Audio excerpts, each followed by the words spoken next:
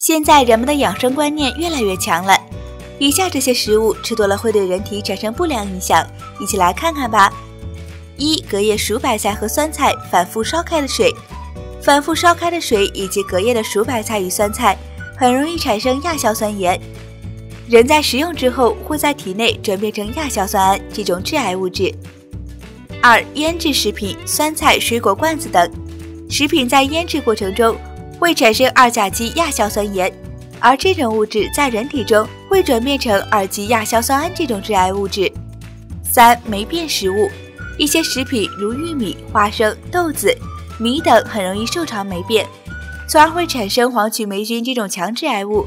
四、油炸食品、薯条等食物被煎炸，尤其是被煎焦后，就会产生多环芳烃这种致癌物质。网友们，这些致癌物质以后可千万不要吃了。你们记住了吗？